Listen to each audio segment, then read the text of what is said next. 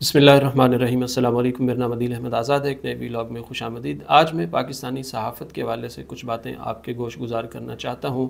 بڑے بڑے معتبر صحافی، نامی گرامی صحافی، باوسوق صحافی، اینکر صحافی اور اپنے آپ کو بڑا، بہت بڑا سمجھنے والے صحافی جو ہے، وہ مین سٹریم چینلز پر بیٹھ کر جھوٹ بول رہے ہوتے ہیں۔ جو مین سٹریم پروگرامز ہوتے ہیں، ان میں بیٹھ کر جھوٹ بول رہے ہوتے ہیں۔ یوٹیوبرز کی بات نہیں ہے، یہ چھوٹے لیول کی بات نہیں کر رہا۔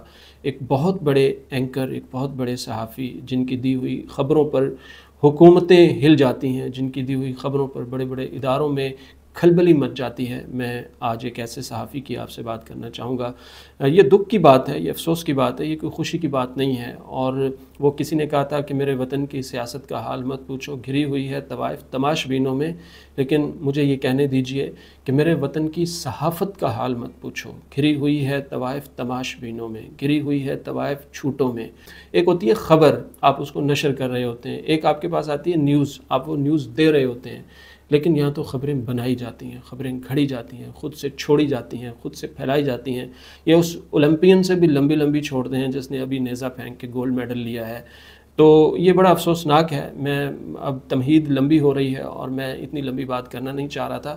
پچھلے دنوں حامد میر صاحب نے ایک جیو کے پروگرام میں بیٹھ کر کہا کہ مولانا پر دباؤ ڈالا جا رہا ہے ایک برادر اسلامی ملک کی طرف سے کہ آپ ساتھ دیں حکومت کا۔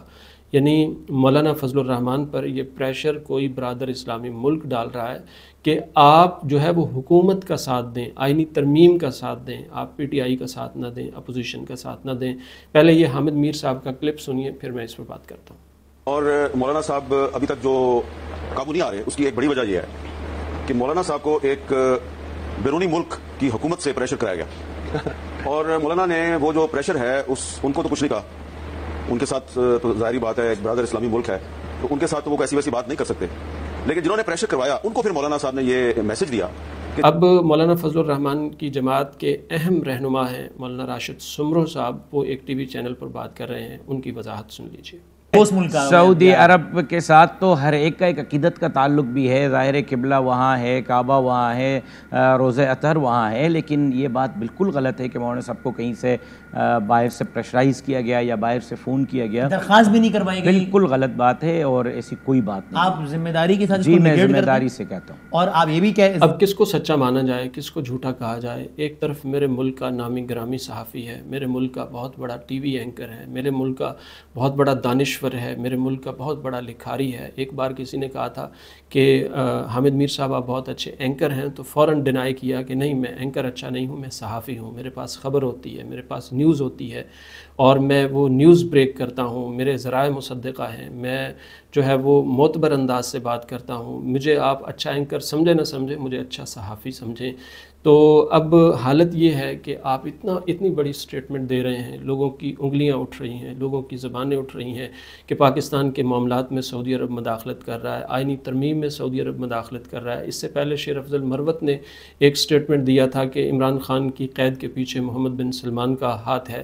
تو اس کے بعد پھر پی ٹی آئی نے اس کی پوری وضاحتیں دیں۔ پی ٹی آئی نے پھر اس پر معذرتیں کیں اور پوری طرح سٹیٹمنٹ آیا پی ٹی آئی کی طرف سے آفیشیل اور اس کے بعد شیر افضل مروت کو بھی ان کی پوزیشن سے ہٹا دیا گیا تھا۔ تو بعد میں وہ بحالی ہوئی۔ بہرحال کہنے کا مقصد یہ ہے کہ اس طرح کے جو بیانات دیے جاتے ہیں کہ کوئی اسلامی ملک مداخلت کر رہا ہے یا سعودی عرب مداخلت کر رہا ہے، ظاہر ہے وہ بات جاتی اسی طرف ہے کہ پیسے بھی سعودی عرب دیتا ہے، تیل بھی سعودی عرب دیتا ہے، امداد بھی سعودی عرب دیتا ہے انویسٹمنٹ بھی سعودی عرب دیتا ہے، جہاز بھی سعودی عرب دیتا ہے، آپ کے سفروں کے اخراجات بھی سعودی عرب اٹھاتا ہے، آپ کو ویلکم بھی سعودی عرب کرتا ہے۔ کوئی اور ملک تو ہمارے ساتھ کھڑا ہی نہیں ہوتا مشکل وقت میں۔ آئی ایم ایف اگر کھڑا ہوتا ہے تو وہ پھر یہ حال کر دیتا ہے، میرے ملک کا، بجلی کے بلوں کا، کھانے کا، پینے کا۔ یعنی آپ سے سانسیں تک چھین لیتا ہے آئی ایم ایف امداد کر کے۔ لیکن یہ سعودی عرب ہے جو آپ کو سب کچھ دینے کے باوجود بھی آپ سے کوئی مطالبہ نہیں کرتا، کوئی مداخلت نہیں کرتا۔ ابھی جو سالانہ جو ان کا خطاب تھا امیر محمد بن سلمان کا، ان میں ایک واضح کیٹاگوریکلی یہ لائن بھی تھی کہ کسی بھی ملک کی اندرونی جو ان کے معاملات ہیں، ان میں مداخلت نہیں کرنی چاہیے۔ تو مولانا آئینی ترمیم کا حصہ حصہ بنے یا نہ بنے مولانا کس کو ووٹ دیں، کس کو ووٹ نہ دیں، مولانا عمران خان صاحب کو آپ جیل میں ڈالیں، باہر رکھیں، کچھ بھی کریں، اس سے کسی برادری، برادر اسلامی ملک کو کیا کنسرن ہو سکتا ہے؟ کسی کو بھی نہیں ہے۔ یہ آپ کے اندرونی معاملات ہیں اور حامد میر صاحب جیسے صحافی کو، ذمہ دار صحافی کو، اگر یہ بات کوئی یوٹیوبر کرتا، اگر یہ بات کوئی رپورٹر کرتا، اگر یہ اگر یہ بات کوئی چھوٹے لیول کا، اخباری لیول کا صحافی کرتا، تو شاید اس کا اتنا اثر نہ ہوتا۔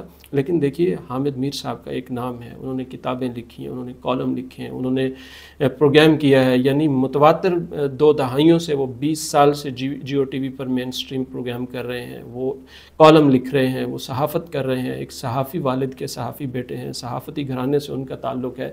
ایک وہ صحافتی دنیا میں یونیورسٹی کا درجہ رکھتے ہیں۔ لیکن اتنی کمزور بات، اتنی چھوٹی بات کہ کوئی برادر اسلامی ملک ایک چھوٹی سی آئینی ترمیم کے لیے مولانا فضل الرحمان پر پریشر ڈال رہا ہے اور مولانا فضل الرحمان جو ہیں وہ اس پریشر میں آ رہے ہیں اور انہوں نے اپنا مشاورتی اجلاس بھی طلب کر لیا ہے۔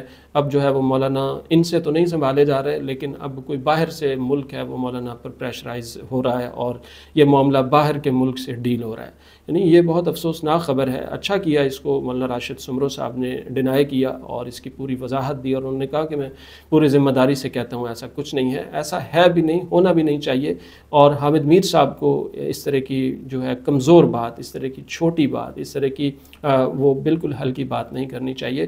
صحافت ذمہ داری ہے، سیاست سے بڑی ذمہ داری ہے۔ سیاست میں کمزوریاں آ جائیں تو وہ دور ہو سکتی ہیں۔ صحافت کی کمزوریاں جو ہیں وہ بہت بہت بڑے خلا پیدا کرتی ہیں، بہت بڑی خلیج پیدا کرتی ہیں، جس کا شکار پاکستان ہو چکا ہے۔ صحافت بڑھ چکی ہے، کالمز بڑھ چکے ہیں، اینکرز بڑھ چکے ہیں، چینلز بڑھ چکے ہیں۔ اور اسی میں اب ملکوں کو بانٹا جا رہا ہے۔ کہیں ایران کو کوئی لے کے کھڑا ہے، کہیں کسی اور ملک کو کوئی لے کے کھڑا ہے۔ اس میں محسنوں کو رگیدا جا رہا ہے۔ اس میں جو پاکستان پر احسان کرنے والے ملک ہیں، ان کو رگیدا جا رہا ہے، ان کو کھینچا جا رہا ہے۔ تو یہ افسوسناک ہے، سعودی عرب بالکل بالکل مداخلت نہیں کر رہا۔ اگر کوئی ملک مداخلت کر رہا ہے یا جو حامد میر صاحب کے پاس اس کے ثبوت موجود ہیں، تو وہ ثبوت انہیں سامنے رکھنے چاہیے۔ اس طرح جو ہے وہ ڈھکی چھپی بات نہیں کرنی چاہیے۔ معتبر ذرائع کہہ رہے ہیں اور یہ ہو رہا ہے اور وہ ہو رہا ہے، اس طرح کی بات نہیں کرنی چاہیے۔ صحافت کے حوالے سے بھی بہرحال ہمیں اخلاقی اقدار کا خیال رکھنا چاہیے۔